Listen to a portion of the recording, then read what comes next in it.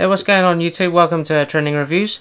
So I'm pretty excited. Today I've got the Hypervolt Massage Gun by Hyperice.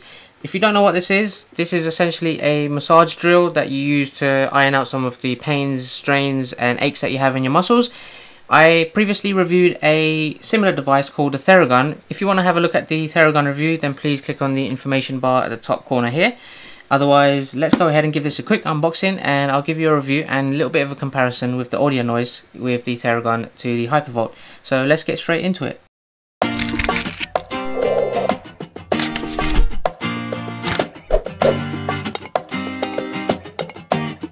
Right, so let's go ahead and open the box. Right, we've got some uh, user guides and information here. So this is the UK plug that comes with it. I presume it comes with a European plug as well. So in the box, let's take a quick look. We've got the power bank here for the charging. We have the European plug as I was mentioning. Battery pack and the handle. I'll just show you that. There you go. Then you have the Hypervolt device here so I'll be showing you that in a second. And then you've got four interchangeable heads that come with this as well. So various different types of techniques to iron out and massage your muscles. I'll probably go ahead and use the most common one which is the spherical soft padded massage ball there.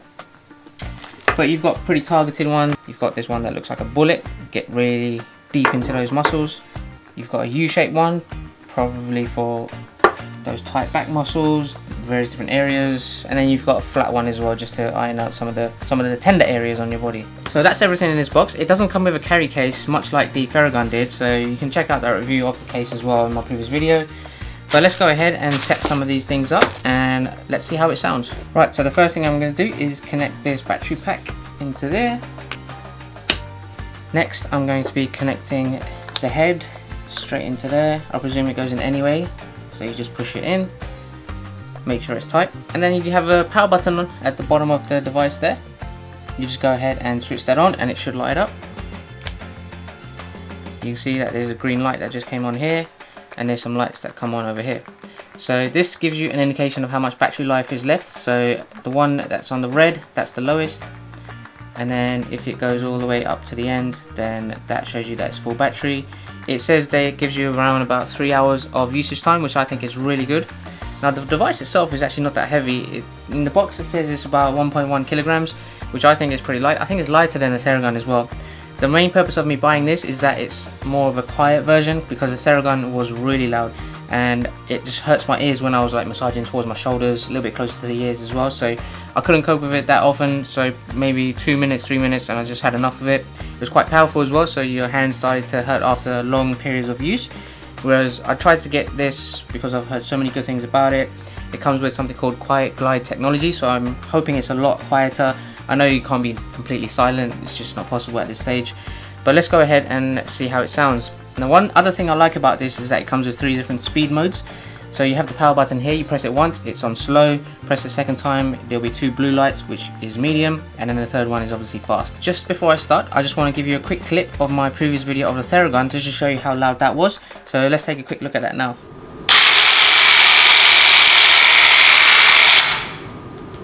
Just a quick note, just realize it's very loud. Um, it's, it's like a real electric drill if you're going to do some housework you're going to put some nails in the walls, then it's exactly the same noise as that. So I'd probably put some headphones in if I wanted to do this as well at the same time because it's just way too loud and if it's quiet around the office then it's just going to be a bit too hard to bear the noise.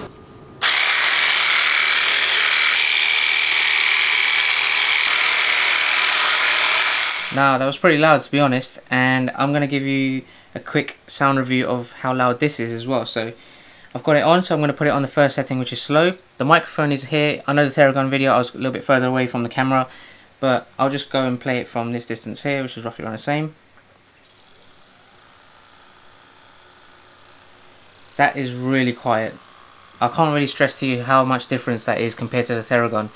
Now, if I move a little bit closer, you'll be able to hear it, but a little bit further away, it's not that loud just so I can give you a bit of an idea, I would say if you take the Theragun audio levels as 100%, I would say that the Hypervolt is probably 10% off that noise level, which for me is a massive difference.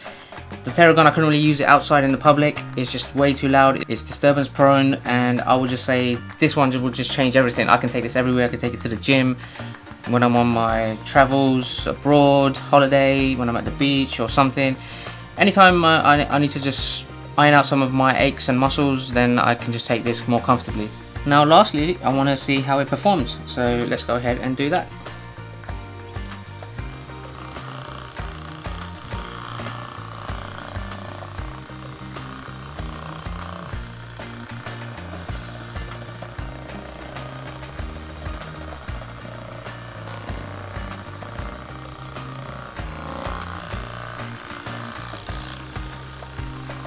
Now this is uh, on the medium speed.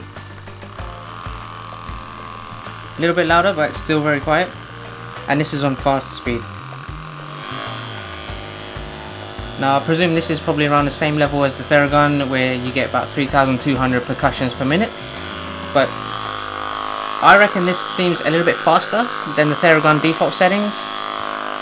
It's actually doing a very good job massaging my muscles. It's quite intense on the level number 3 I can see it doing a better job though and ironing out all of the aches and pains a lot quicker.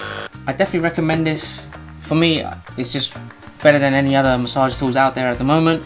I would say it was a 9 out of 10, whereas a Theragun is probably more now at this stage a 6 out of 10 even though it did do a good job as well. Just a quick comparison between the Theragun and the Hypervolt. I'm going to create some audio waveforms here just so you can see the actual differences. So I'm going to play the clip again of the Hypervolt being played and I'm going to play the clip of the Theragun and just give you an idea from level 1 setting on this, the quietest it can be, to the default setting on the Theragun, the differences. So let's take a look at that now.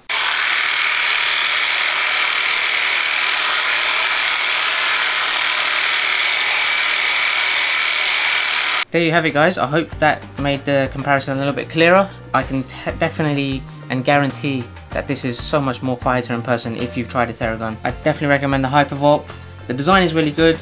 It, you hold it quite naturally. It doesn't really get in any awkward positions. You can target any type of areas on your body, even in your back. To remove, is just pull it out and put the next head in. And then you can just continue using it as you wish. It's definitely worth the price. I would recommend it to any athletes or sportsman that is always picking up injuries, always getting strains, aches and so on. So I hope you like that review guys. Let me know what you guys think of the Hypervolt. It does cost about $349 depending on which country you're purchasing it from. And take a look, I'll leave some links in the description below where you can buy this from. And if you have any questions let me know. Otherwise thanks for watching guys and I will see you next time.